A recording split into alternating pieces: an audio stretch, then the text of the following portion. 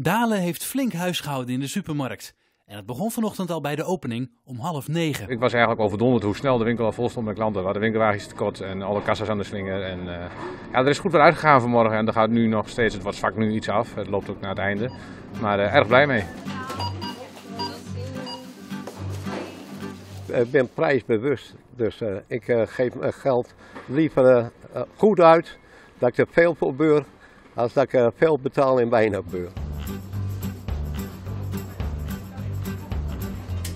We wilden echt nu op de laatste ochtend zien hoe leeg het was. En ja, het is een verbijsterende indruk. Die vakken zijn allemaal leeg. Dus. Uh...